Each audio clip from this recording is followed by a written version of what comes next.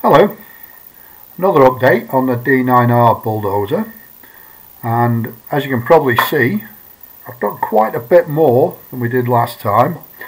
None of this is actually fastened together. It's all been loose fitted. Um, basically so that I can paint it without with it without too many problems. A couple of things that, um, that, that I need to mention that's it was quite a surprise when I was putting this together.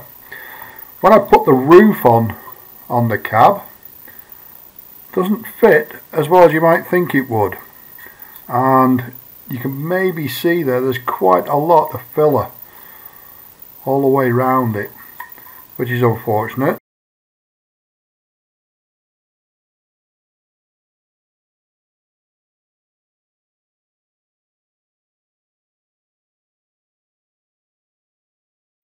The aerial at the back, I think I mentioned that I broke it off. I happened to find another one off a, of a Challenger tank that I built that was a spare one, so I've stuck that on, and when it's painted, I don't reckon anybody would notice it. The little handles I mentioned last time, my fingers are a bit clumpy for doing that. Little handles I mentioned last time, I knocked another one off that disappeared into outer space, never to be seen again.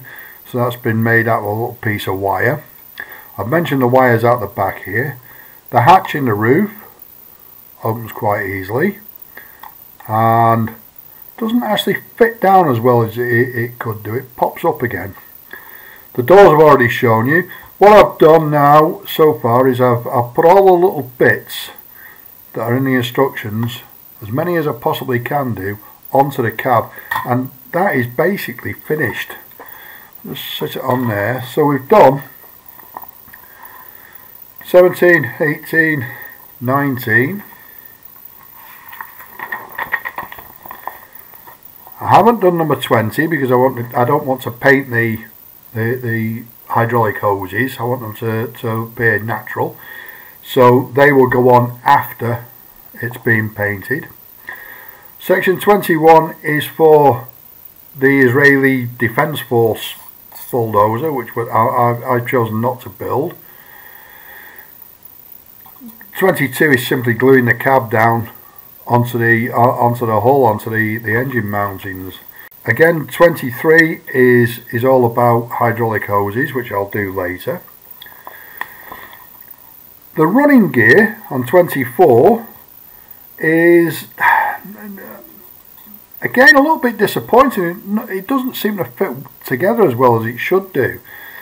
As I say, I've not fastened any of this together yet, so that I can paint it all. And it will all come apart. I'll pull this one apart first. And as you can see, again, there's an awful lot of filler in there. All the way along this seam, along the back, this joint along the back has had to be filled. And most of it is on view, so you, you couldn't not fill it these two pieces here don't join together level at all. You've got to fill them so that they're, they're, they're level across the top there. I've glued them together and I've put the mechanism for the, the, the, the blade, the arms of the blade in there. So that's all fixed in. These two wheels are fixed in permanently, but I haven't put the wheels on the inside. I'll show you them in a second because I want to paint that to make sure that it's it, it's all painted inside. And if you put the wheels on, that won't happen. You won't be able to you, you won't be able to spray in there. There'll be gaps all over the place. So essentially, I've made all the wheels. I've put them all together. They clip in really quite easily into the frame. It takes a little bit of, uh, of jiggery pokery and it's in there and it revolves then. Um, and that, that happens with all, all all eight on each side. I did try them before I decided not to put them in but this bit here is quite flexible so that you can get the the, the, the wheels in.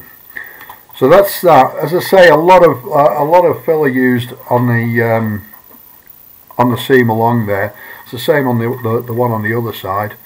Exactly the same thing gaps all the way along it.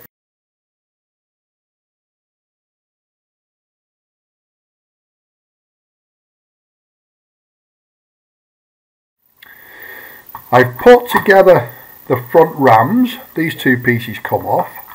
And I'll go on when it's all been painted. Those two tubes, hydraulic hoses, spare me, those two hydraulic hoses there, in the kit are two plastic two plastic rods that come down, go through this, this cover and then emerge on the other side. In real life of course they disappear inside the inside the, the, the machine onto a hydraulic pump somewhere.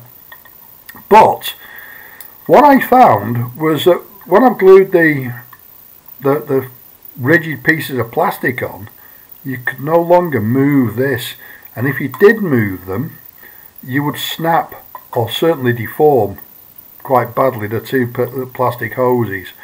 So what I've done, I've cannibalised them and I've cut the ends off them there and there and then I've glued them into put the tubes on and glued the tubes into it. So it's it's got a couple of silicone tubes in there. Now when we put the blade in it will it will all move together if necessary. And you know if you want to pose your, your machine you want to be able to move.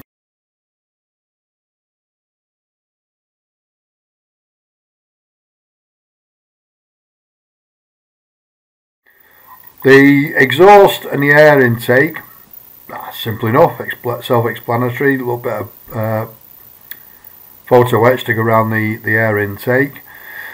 A uh, couple of handles gone on here and there. And, uh, nothing much more I can show you on there to be honest.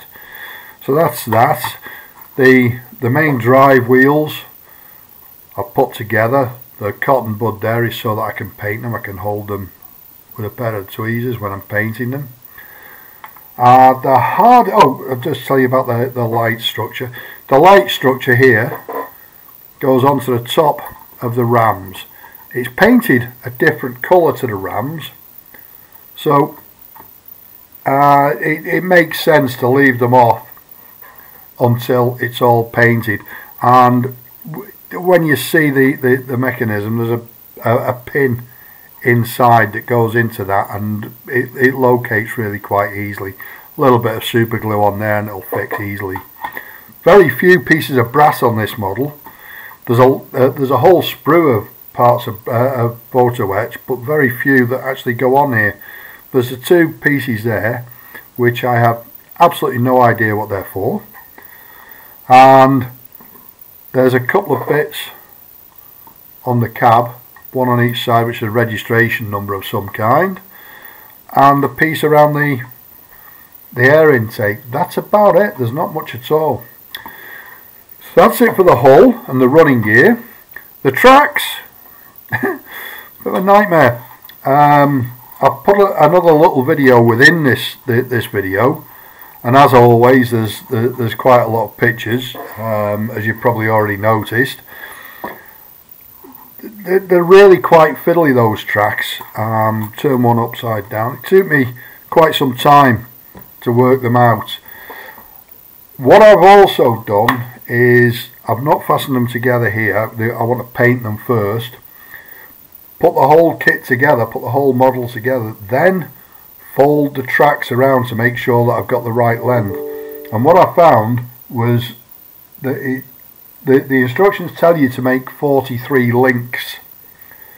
However, that doesn't tell you whether it includes the PV, uh, the, the yellow plastic ones at uh, one end. And I've made 43 links and it was too long, so I had to take one out, which was a bit of a pain to be fair, but there you go. The tracks themselves, there's not a lot holds them together, you've got to be very careful with them. Um, but if you if you're careful and you let the glue set properly before you move them again, they're fine. You know they're they're really quite flexible.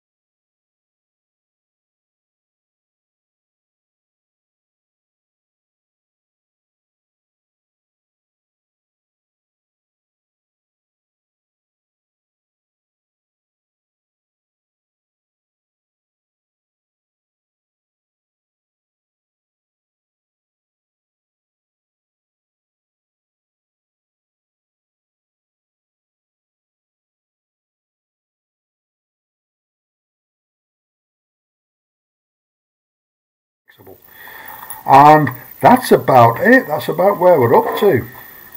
So it's uh, everything on the on the running gear, all of 24.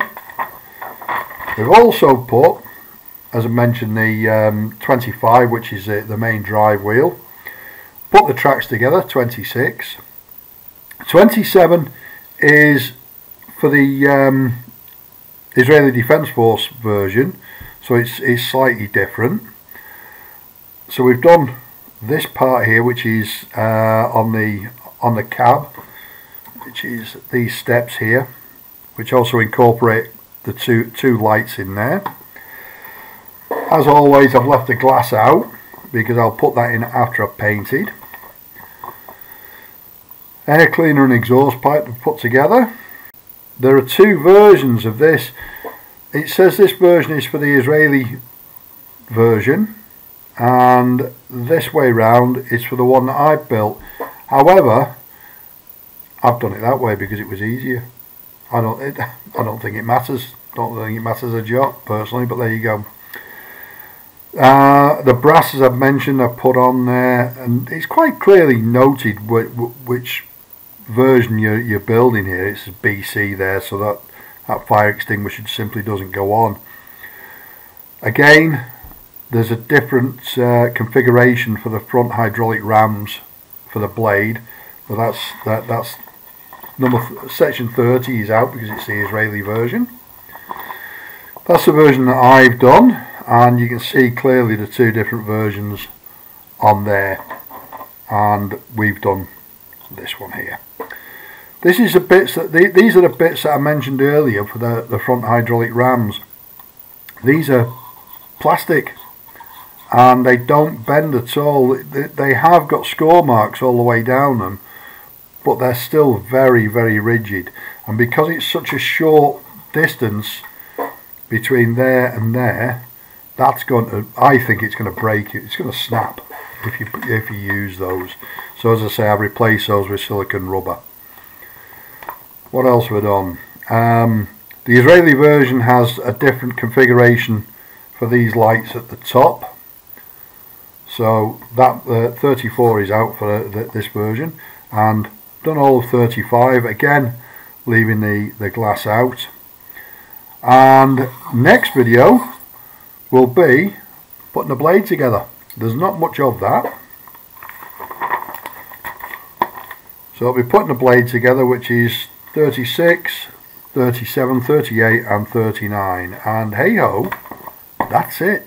It's all gone so, what I propose to do then is when I get the blade done, I'll do a little video. As I say, it'll only be a short one because I'm not going to fix any of this together until I have the whole thing finished and painted. And when it's painted, then I'll assemble it. So I've got quite a lot of little bits there all hanging around doing their own thing. But I think it'll make it a lot easier to paint it while it's in, in, in major bits. Paint this, paint the running gear in two sections, paint this, paint the tracks. It's going to be a lot easier to do that. Thanks for watching. If you have any questions, please leave them in the, the, the comments box below. Any comments, good or bad, please leave those as well. And it would be great if you could like and subscribe. Thanks very much. Ta-da!